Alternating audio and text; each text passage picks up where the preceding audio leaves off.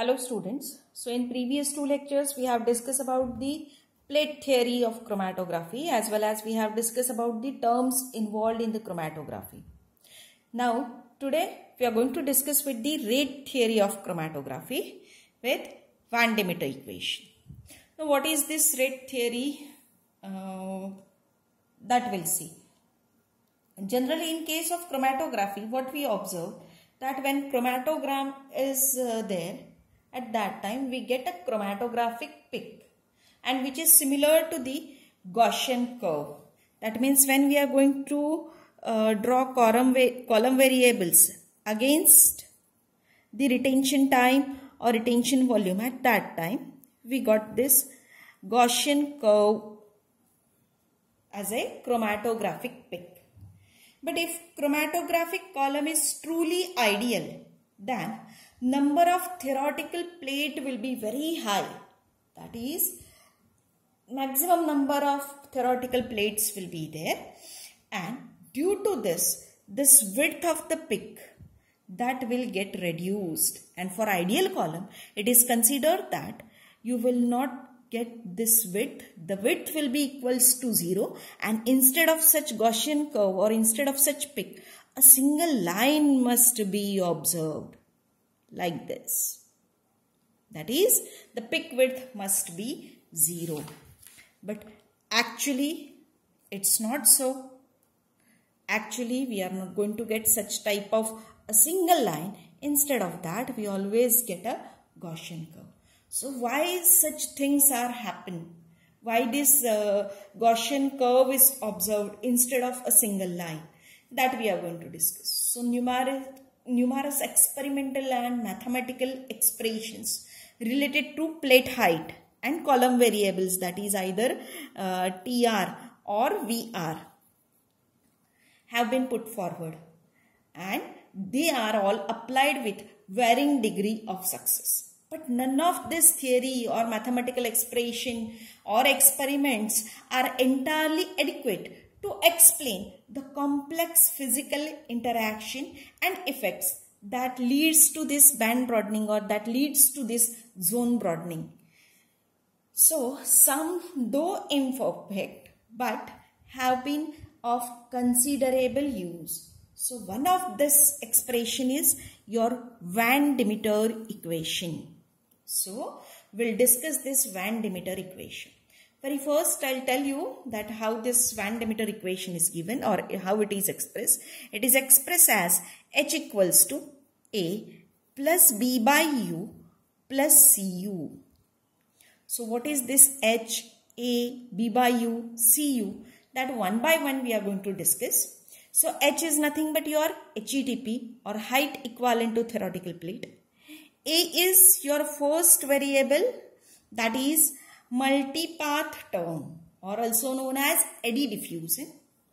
The second is B by U is longitudinal diffusion term and Cu is nothing but the mass transfer term. Now this C coefficient is again splitted into two. That is one is for stationary phase and second is for mobile phase. So now we'll see the details of this each and every variable. So very first we'll discuss about the A that is the multipath term. Multipath term which is denoted by A or also known as eddy diffusion. Now, zone broadening or band broadening arises from the multiple pathways by which molecules can find its way through the column. Now what happens? Suppose I am going to draw the magnified view of the column. So column is say packed. So these are the column packings.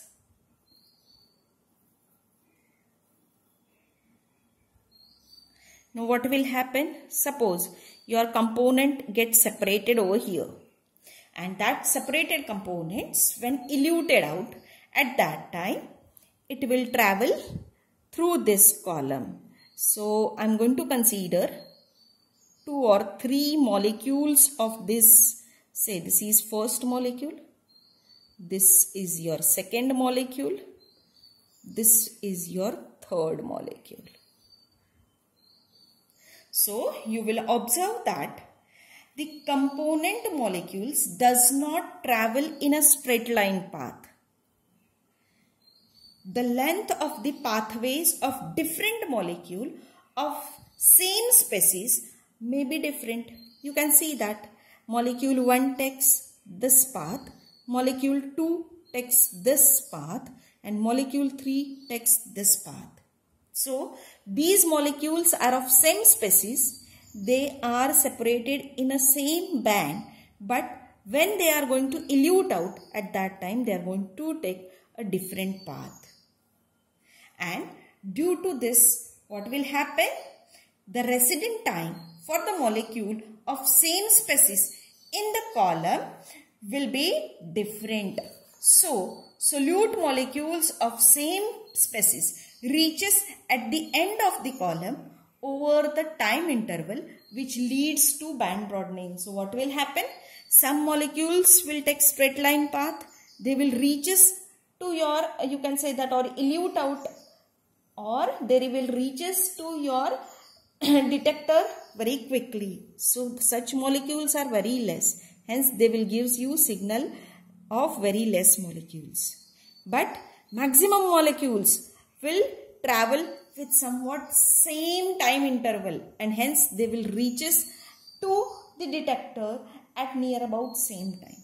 But some molecules will take a very long path and they will reaches to the detector after a span of time. And so due to this what will happen? We are going to observe such type of band broadening. This effect is known as a eddy diffusion. This effect is known as a eddy diffusion and it is directly proportional to the diameter of particles making up the column packing and also it is proportional to the flow rate of mobile phase. So what will happen? If your flow rate of mobile phase is low, then molecules will have time and they will take a numerous pathways and hence the bond broadening, band broadening is observed. While at moderate or at high, uh, you can say that uh, flow rate, sufficient time is not available to take numerous paths so what will happen?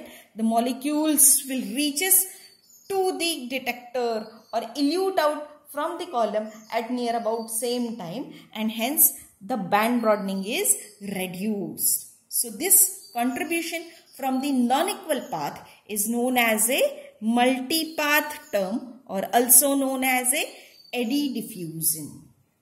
Now we have to discuss the next that is the longitudinal diffusion term. Longitudinal diffusion term.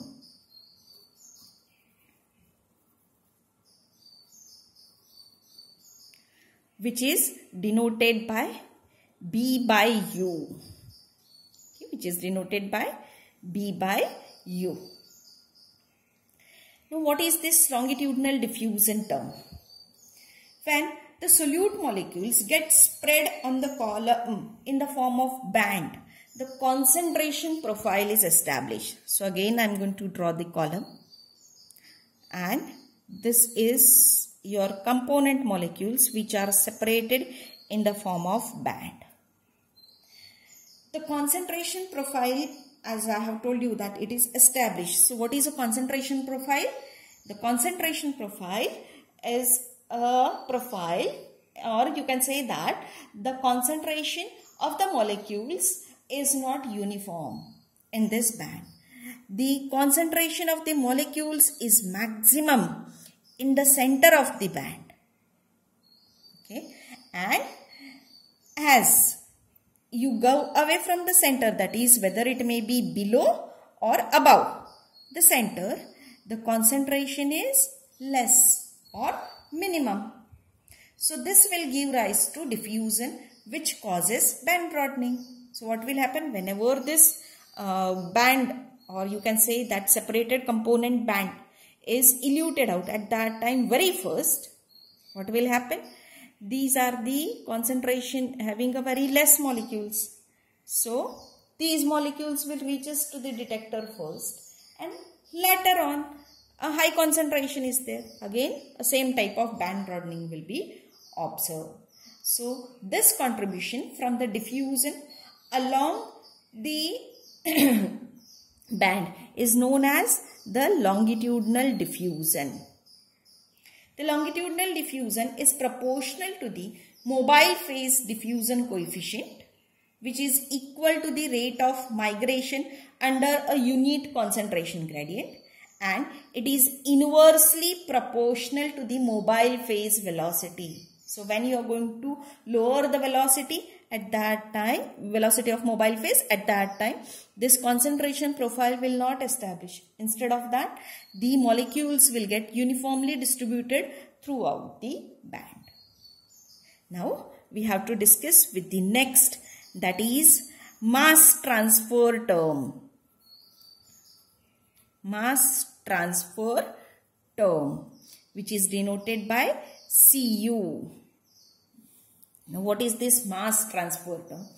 Band broadening from the mass transfer will occurs because the front of the band will move faster than the predicted rate while rear of the band will move slower than the predicted rate. So what will happen?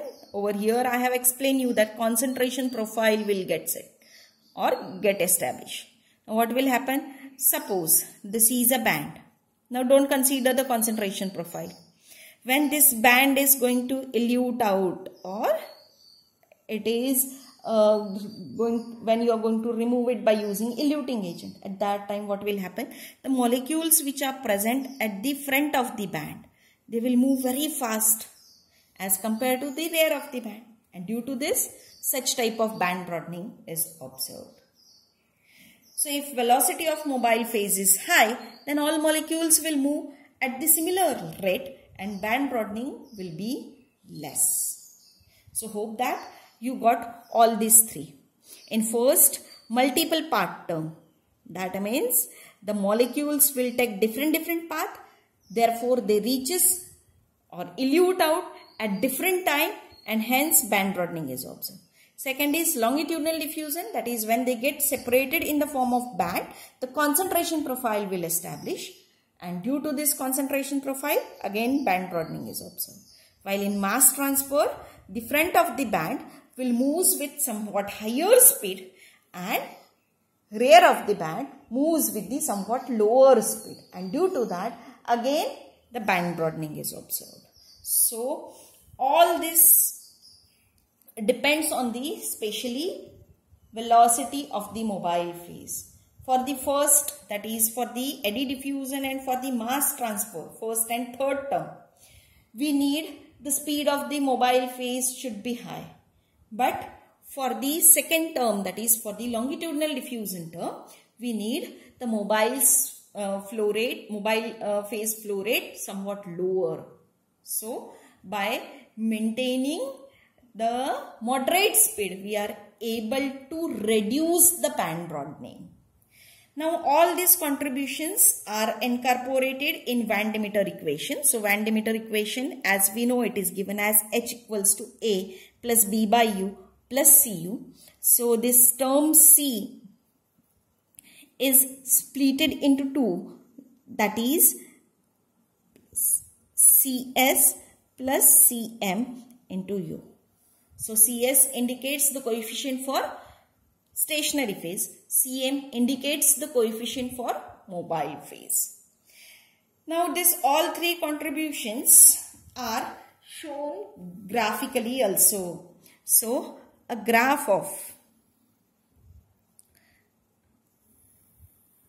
detector signal against the column variable that is H or HETP in centimeter against flow rate of the mobile phase in centimeter per second is drawn. So if you draw all these variables uh, individually then you will get such type of graphical presentation. This is a presentation for term A this is a presentation for B by U that is longitudinal diffusion and this is a individual presentation for term CU. But if all three contributions are shown then it will shows you a single curve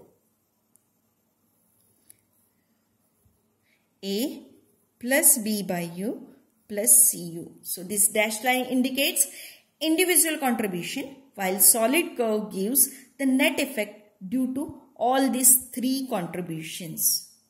So this is given by the Van Deemter equation which gives us very correct prediction for the rate theory of the chromatography. So that's all for the rate theory of chromatography. Thank you.